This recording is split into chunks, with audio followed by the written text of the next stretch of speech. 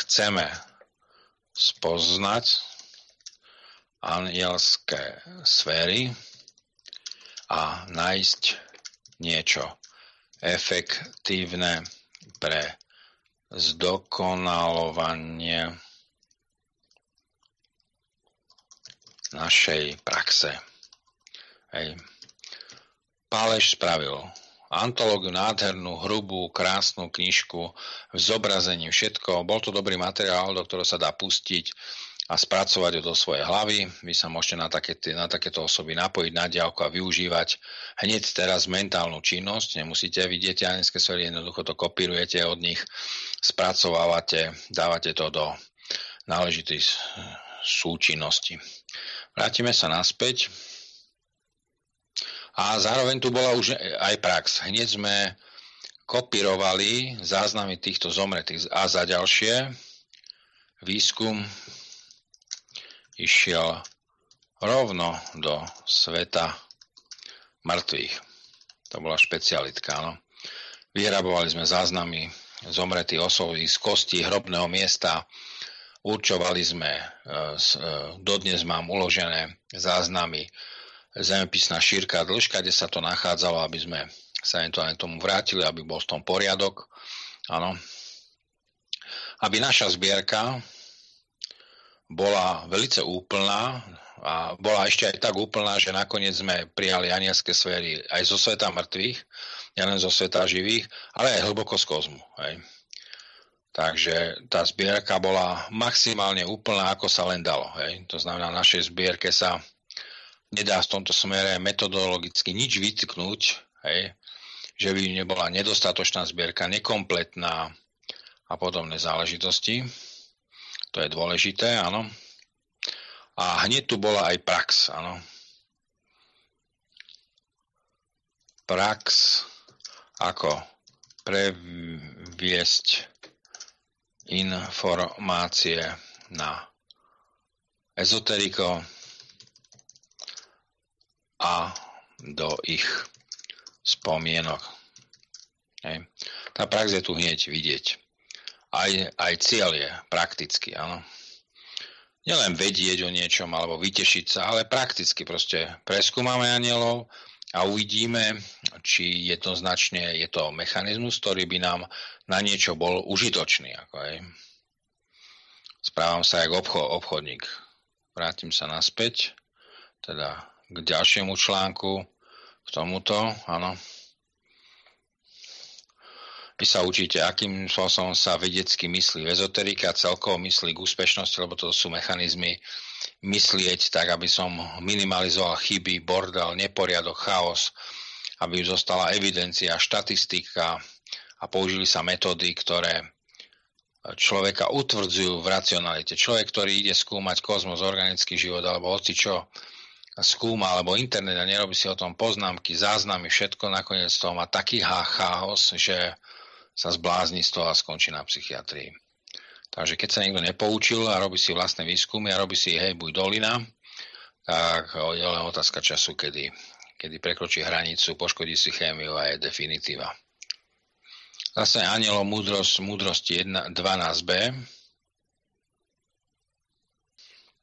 jasné, že keď robíme šamanské rituály a šamanské obdobie, že tu budú magické rituály, lebo oni museli robiť magické rituály, pohybovať sa rukami, nohami, e, objekty si okolo seba ukladať, lebo neboli schopní sa dostatočne skoncentrovať. A bola tu aj magická prax, to znamená, aby sme si mohli prevziať tie spomienky týchto jedincov, ktorí s tým robili, bolo treba robiť ritualistiku. To nešlo v podstate. Museli sme to dosť napodobniť, aj keď to bolo len symbolické, všetci sa pamätáme. A je tu prvýkrát zemepisná šírka dĺžka menovaná. Ale vidíte jedno, že v zásade tieto osoby, ktoré sme vybrali z histórie šamanstva, si tieto objekty vytvárali sami v podstate ako vo svojich predstavách. Áno. To znamená, môžeme zadefinovať vec, ako si vytvárať vo svojich predstavách anielské bytosti, objekty. To môže byť pod anielskou bytosťou, môže byť vec, osoba, hej, vec, osoba, niečo imaginárnej. Bolo jedno na tom, jedno bolo spoločné, že tomu pripísali neustále krídla hej, v tých predstavách. To znamená anielské sféry z mojich predstav. Ja si budem kresliť z Lonemotu nejakú postavičku aniela a budem si to predstavovať, vizualizovať a nabíjať ju určitými schopnosťami. Áno. Predstava aniela a meditácia na tieto anielské sféry. Hej. Uh, museli sme konštatovať, že som málo účinné a skorej ako hra, než vážna záležitosť. Vážna záležitosť. To znamená nielen, že sa budeme venovať technikami, ktorými sme predtým cvičili a chceme si osvo- obnoviť, o, lepšie osvojiť, zdokonaliť, ale k tomu pridáme aj logiku, aby človek o, ne, o anielských sférach vedel premýšľať. Hej. To je veľký problém, premýšľať o anielských sférach, veľký problém je to praktizovať a potom veľký problém je to preskúmať. Áno? Nauč sa o anieloch premýšľať, správ si zbierku, áno, správ si zbierku, cvič to v sebe a praktizuj. Hej. A praktizujete to napríklad tým, že zhrňate tie anielské sféry dokopy a znovu znovu si ich vizualizujete, napájujete sa na, na diálku teraz už keď máme iné schopnosti, máme bublinkovať stade hlavy v ránom štádiu klinické smrti, napájam sa na všetky o, sochy anielov po celom svete, napájam sa na obrazy, napájam sa na drevené sochy, figurky alebo na kosti zomretých, ktoré to môžu mať v sebe a zhromažďujem, teda dosiahni dosiahni aj objem skúmania a meditovania. E, meditovania. No. To znamená, treba vždy premyšľať o tom a postupovať, cvičiť. Áno.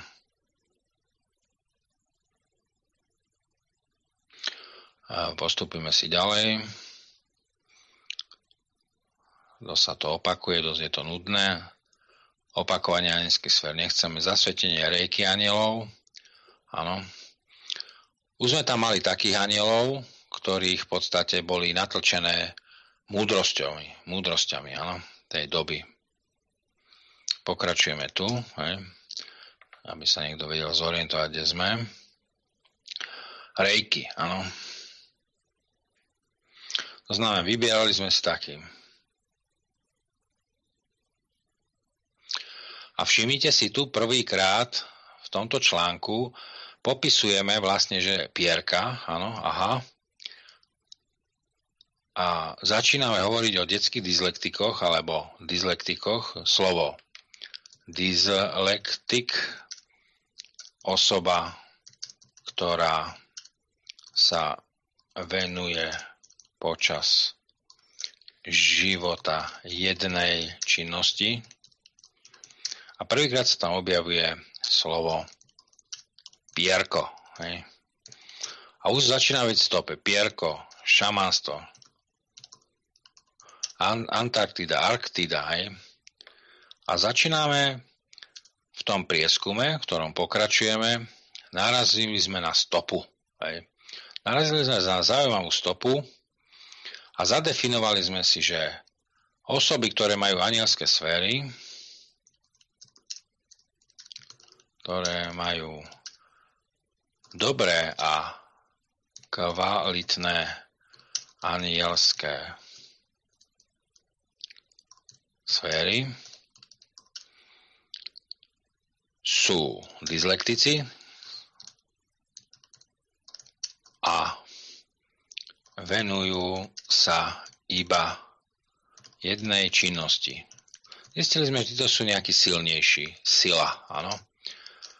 A začali sme ísť po tejto linke. Hovoríme si, dobre, nejakú sondu sme hodili a naobjavili sme túto vetvu. Objavuje sa vetva dyslektických jedincov, ktorí celý život, 20-30 rokov šúchajú pierko, kamienok a podobné záležitosti a majú prírodné vedomie, to znamená, nemajú naše ľudské vedomie, to je zrejme jasné, ale majú brušný mozog otvorený, dynamicky a odtiaľ to všetko vychádza. Riadi ich to, lebo je to vedomie primátov, alebo respektíve cicácov. Primáty sú slabšie, cicavci sú výraznejšie. A tieto poruchy vedú vlastne k tomu, že vytvára si donútra, dostane abnormálne množstvo obrázkov o pierkach, ale aj hmat, hej. Čo má v pamäti?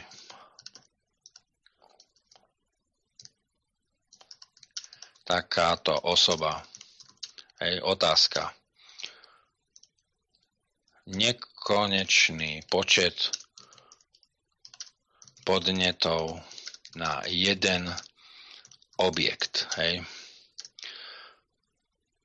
To je dôležité, významovo dôležité. Ale pýtame sa, aké to má význam pre kvantovanú dušu. Ano? Pre kvantovanú dušu, dušu to má význam to, že pokiaľ chce byť nejaký objekt, alebo my, dobrí v danej veci, musíme dosiahnuť nejaký objem v tej veci a aj určitú hĺbku detailnosti. Hej. To znamená, v ezoterike sme išli dosť narýchlo, v rýchlom tempe, hysterických záchvatoch a hlavne sme robili objem a nie kvalitu, tak tú detailnosť tam samozrejme chýbala, tá detailnosť, precíznosť. Teraz sa k nej vraciame, lebo nechceme prekročiť rámec 10 na minus 30, 300 km, 10 umocnené na 300 km. Kto je taký a pôjde za hranicu 300 km, tak mu želám šťastlivý návrat a ľahké pristate na psychiatrii, hej, lebo to je Coghouse istý a navyše, keď mu ešte nejde tukové orgány a nebude si to podporovať z tukových orgánov a bude expandovať ďalej, napriek tomu, že sme upozorili, že je to rizikové, tak si znehodnotí hormonálne žlazy, prerobí ich a potom už nie je návratu z toho. A potom sa môžu diať v tele čudné veci. Takže upozorňujem tým, ktorí ako si nedali povedať a niektorí sú a expandujú, že skončia katastrofou. Osoba, ktorá sa príliš zašpecializuje do nejakej oblasti a vysoko neznámej a zložitej a komplikovanej a nebude mať tukové orgány prispôsobené, tak skončí zle. A za hranicou 10 umocnené na 300 km je to už nebezpečné aj pre toho, ktorý umocnené na 300 km. Je to nebezpečné aj pre toho, ktorý má chémiu dobre vybudovanú, lebo ju stočí a nikdy ju nevráti naspäť a skončí na psychiatrii. Hej.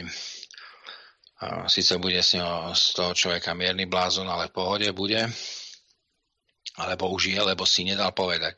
Takisto nechodíme do priestoru 10 umocnené na minus 60 alebo 70-80, e, kde človek stráca identitu. On tam môže ten človek loziť, ale postupne sa dezintegruje a stratí vedomie o sebe pretože zničí chémiu svojím spôsobom.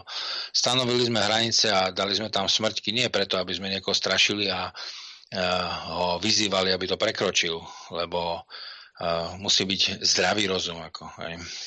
Aj v prípade anielských sfér máme prípady, kde sa to prehnalo jednoducho a daná osoba sa chcela stotožniť s anielskou sférou a bol totálne, hej, totálne proste byť ňou za každú cenu a potom to samozrejme skončí, skončí skoro bláznici a podobné veci. Hej.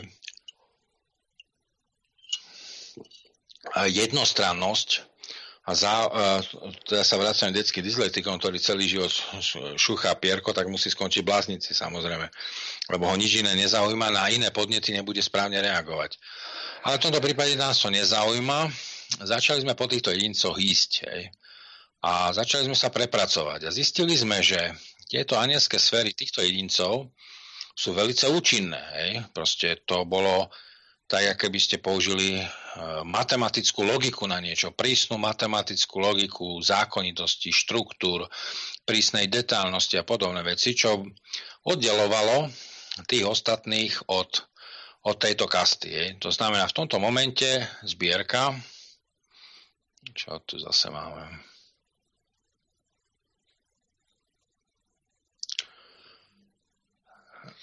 zbierka anielov sa prakticky delí na dve zbierky. Môžete si použiť matematiku potom, máte množinovú jednoduchú. Hlavne nie použiť matematiku, ale matematický spôsob myslenia sem zaviesť do vedeckého spôsobu myslenia. Sa prakticky na dve zbierky. Aniel ako fantázia u bežných šamanských jedincov a aniel u jedincov s poruchou dyslexie. Môžete sem dať z Wikipédie, poprosím niekoho, uh, myslím, že je to s tvrdým alebo mekým, Nemusí sa to zhodovať, slovo dyslexia, jak ju vysvetľujú psychiatrie, psychológovia, ale toto je najbližšie, ale môžem poprosiť niekto, choďte, dajte dyslexia, Wikipedia, dajte som to sem, buďte takí dobrí, spolupracujte, poprosím, pekne. A zbierka, vy cvičíte svoje hlave, oddelíte dve záležitosti. Anielské sfére, ktorí vyrábajú v podstate jedinci bežného charakteru bez takéto poruchy a s takouto poruchou. A my sme zvážili, ďakujem, dyslexia, áno, výborne, super. No, môže byť aj česky, si to majú kvalitnejšie, ale nevadí. Slovensky to je také ako, že ja keby sme prišli z Indie, nemali všetci zvieracie e, brušné mozgy otvorené. A orientácia prechádza, táto skupina sa necháva bokom a začína sa ísť po tej dyslexickej skupine. Nie, a dysle, e, pokiaľ bol niekto a vytváral náboženského aniela a nebol dyslektik, hej, to znamená, nebol tam taký jedinec, ktorý, ťažko som tam hľadal jedincov, ktorý by celý život kreslil len jedno, jednu anielskú sféru. Ako, hej. A začíname sa zaoberať aj úvahami, prevýmšľame. Ako by to bolo, keby som ja celý život kreslil a myslel iba na jednu anielskú sféru. Aha, Aký to má význam pre kvantovanú dušu? Kvantovaná duša. A ako by vedela robiť jednu činnosť na väčnosť. Kde by to prišlo, hej? Vedela by kvantovaná duša robiť takýchto izolovaných činností náraz nekonečné množstvo. Hej, nekonečné množstvo. Samozrejme, keď ma chcete teraz chápať, musíte mať pod kontrolou ľudské programy v gangliách, programy, ktoré sú brušnom mozgu, v mieche, áno musíte byť napojení na mozočok. V mozočku musíte mať tisíce mozgov, milióny mozgov k dispozícii a pracovať s nimi, aby ste si nespalovali svoj mozog, aj tak sa vám nepodarí to pochopiť v hĺbšom význame. Áno.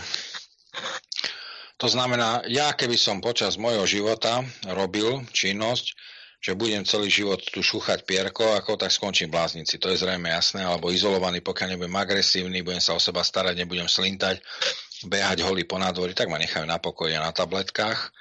Áno, a s penziou, čo nie je také zlé, ako v podstate zbaviť sa roboty. Hej, aj negatívne veci majú progresívne. My to nemôžeme robiť, ale kvantovaná duša, prečo po našej smrti by nemohla takéto programy spustiť v podstate? Hej, to znamená, že keď objekt alebo nejaký systém sa hlboko zaoberá jednou vecou, jedným objektom, alebo teda tých pierok mohlo byť e, e, veľa, rôznych samozrejme, a skúma ich báda hrá sa, tak dosahuje jedinečnosť. To znamená, kvantová duša by časom mohla uh, takéto činnosti vykonávať. Nám, nám to bráni, my to nemôžeme takto realizovať, lebo by sme skončili v bláznici. Aj my môžeme do určitej miery sa špecializovať na určitú oblasť a E, nemôžeme to dosiahnuť. Ale to, čo my nemôžeme dosiahnuť, hej, kvantovaná duša nemôže chodiť na záchod po našej smrti, ale kvantovaná duša sa môže správať ako tisícky anielov, tisícky dyslektikov, ktorí sa každým detailom zaoberajú. Hej. do nekonečná. No, tým môže, tým začíname uvažovať, že kvantované duši sa teologická, uh, teologická idea najvšetko jedinečné a najmúdrejšie hej, a najdokonalejšie môže naplňať takýmto spôsobom. My ju nemôžeme tu naplniť, lebo Cvokhaus je istý. Hej, a to nejde a to je proti našim zásadom, lebo tie, tu je zásada, nebudeme robiť nič, čo na, kde skončíme na psychiatrii a v bláznici alebo na onkologických oddeleniach alebo na chirurgiách a podobných inštitúciách. Po niektorí e, im to môžete rozprávať celý život, aj tak tam skončia, pravda? Lebo niekto si myslí, že je najlepší, alebo Boh a, a môže všetko, tak ako, mm, tak viete, ak skončí. Ako, je lebo sú predložky s Bohom, aj k Bohu a aj predložka od a do hej, a podobné záležitosti. Takže treba si to zvážiť. Aha, takže prvýkrát naražame na niečo, čo nebudeme môcť cvičiť, ale čo budeme môcť programovať hej, do kvantovanej duše. Áno. O, musím si uvedomiť. Toto nemôžem v sebe cvičiť, lebo skončím zle, aj keď špecializácia na jednu oblasť sa ľudskej spoločnosti vyžaduje samozrejme a tí ľudia v nej dosahujú efekty, lebo sami seba prispôsobia nakoniec hej, tej danej činnosti. Viem pochopiť, prečo sa um, bráni ako programovanie podobné veci, lebo sám by sa stal programom ľudským, jednostranným a šamanstvo boli vždycky také všestranejšia záležitosť, mali čas sa venovať rôznym oblastiam a nie len jednej. To znamená, v tomto momente a v tomto fenoméne odmietame ľudskú spoločnosť a je fenomén zašpecializuj a stal sa, keď vyrábaš eh, hraškové konzervy, stan sa hraškovou konzervou, áno. Keď žiješ v Košiciach, tak sa stane uh, luníkom hej, a podobné veci alebo lunárnym lunochodom. To si už sme si zasrandovali slovne. Prípad, pardon, v prípade kvantovanej duše to odmietať nebudeme. Hej v prípade kvantovanej duše anielských sfér pristupujem k tomu, že to programujeme, začíname programovať sebe, do kvantovanej duše natlkať, natlkať znovu a znovu a vytvárať automat na to, aby sa to do, do kvantové... My sa stávame vlastne také automaty na natlkanie toho, čo chceme, aby kvantovaná duša po našej smrti robila. Ako, hej? Aby sme si rozumeli v tomto smere. To znamená, my sme sa síce vrátili naspäť, odcvičíme si veci, pochopíme hĺbšie logiku, naučíme sa rozmýšľať tom, odstránime niektoré nejasnosti a nepresnosti, lebo čím detálnejšie do toho pôjdeme, tak tým menšiu chybovosť tam budeme mať, to je zrejme jasné. Mozgy a neuróny si zúžime a budú vnímať priestor 3x3 cm ako zašločekovaný priestor okolo mňa, aby som bol schopný tie detaily vnímať, pracovať s nimi ale tentokrát si vnútri odcvičím nejakú úroveň anielských svet detských dyslektikov, aby som videl do budúcnosti, vedel robiť kroky, ktoré sú správne a rozumné a robil čo najmenej somarín a bol teda úspešný. A duplom chceme byť pri výrobe kvantovanej duše v našich fabrikách, fabrika ľudského tela, byť úspešný samozrejme. Nevidím dôvod byť neúspešný a nepostav, nepostaviť to bezambiciozne a podobné záležitosti. V tomto smere bude mať určité výhody, ktorý psychiku až príliš e, spojil s anielskými sférami, ako je. A samozrejme už v poslednom čase to pekne odpojila, oddelila sa od toho a spravila si určitý odstup od toho, aby to neskončilo tak, že sa stane anesko sférou a keď sa stane anesko sférou, tak sa stane psychiatrickým pacientom. To je logika. Hej. Pokiaľ sa niekto stane organickým životom v kozme tak a, a chce ním byť, tak samozrejme jeho cesta skončí na psychiatrii, to je zrejme. Ako, hej keď nechce, nie, niekto chce byť Batmanom a nemôže byť tým Batmanom, aj tak skončí na psychiatrii a keď nechce, niekto chce byť modelkou a nie je modelkou, tak nielen, že skončí na psychiatrii, ale aj na onkologickom oddelení, lebo túži po niečom, čo nenaplní, áno, a takýchto tu máme viacerých, aj, aby im bolo jasno, že kam kráčajú.